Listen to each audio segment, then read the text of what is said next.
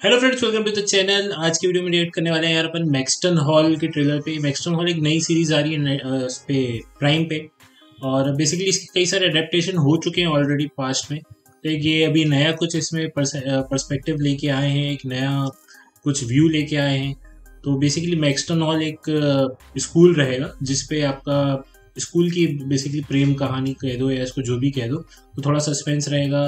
थोड़ा इसमें वही स्कूल के बच्चों की फाइट्स वगैरह रहेंगे और ये ऑब्वियसली जर्मन स्कूल है तो वहाँ पे कैसा क्या रहता है वो थोड़ा सा देखने में अच्छा रहेगा विदाउट वेस्टिंग टाइम चलिए चलते हैं let's enjoy the trailer Das Maxton Hall College ist nicht einfach eine Schule. German es ist eine der Schulen. Wer dort studiert hat, dem steht die Welt offen.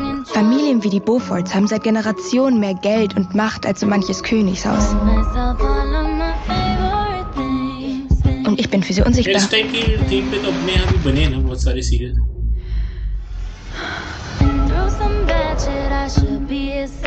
James Beaufort verkörpert alles, was an der Welt der Reichen nicht stimmt.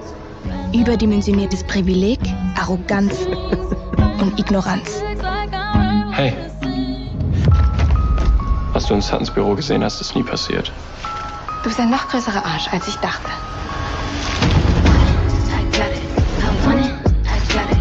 Keine Ahnung, was du vorhast, Belle.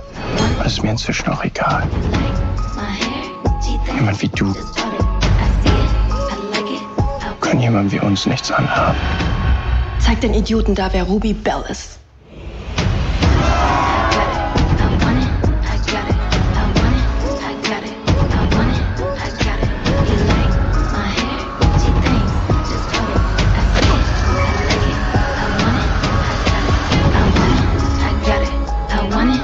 नहीं नहीं। Maxton hall ये था trailer Maxton hall का आ, यार मैं ये बोलता हूँ तो लोग फिर कमेंट करते हैं कि ऐसा क्यों बोलते हो। यार ये देखो ये सब क्या अपने यहाँ हिंदी सीरियल्स और मूवीज़ इतने बनते हैं ना कि ये सब कॉन्सेप्ट ऑलरेडी हमारे यहाँ यूज़ हो चुका है। तो हमारे लिए नया नहीं कि एक बिलियनर है स्कूल में उससे वो हीरोइन गरीब है थोड़ा वाद विवाद होगा और बाद में मोहब्बत हो जाएगी यही है। तो ये वहाँ के लोगों के लिए बहुत यूनिक है तो वो बहुत चलता भी है। खैर एनीवेज मेरे को तो बहुत बेसिक लगा, कुछ ऐसा, कुछ यूनिक लगा नहीं। आपको कैसा लगा ट्रेलर आप कमेंट सेक्शन में लिख के बताइए। और मिलते हैं अगले वीडियो पे, तब तक take care goodbye and keep subscribe